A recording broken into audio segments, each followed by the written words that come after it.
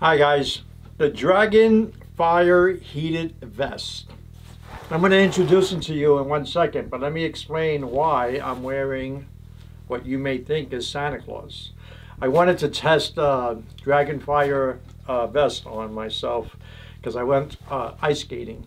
And so let me go over it real quick and then I'll show you the video.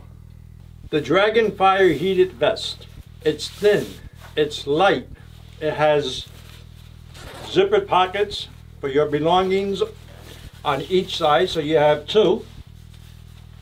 You also have a pocket on the inside of your vest where you're going to be putting your power pack so you could go ahead and turn this on. And so I went ahead and already charged it.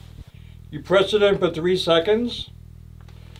Red signifies that it's going to be high red and it doesn't take long. Like I already feel it getting warm. This doesn't take long at all. Within seconds, you're going to be able to feel the warmth within inside the vest. Press it again. That's going to be medium, the white. Press it one more time. That's low, which is blue.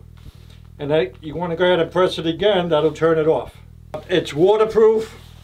Um, I'm going to show you how it worked out for me when I put on my, well, you'll see it when I, uh, when I have it on. And I did go ice skating at Central Park. It was in the evening, it was cold, and this definitely helped me out. So let's go look at that video.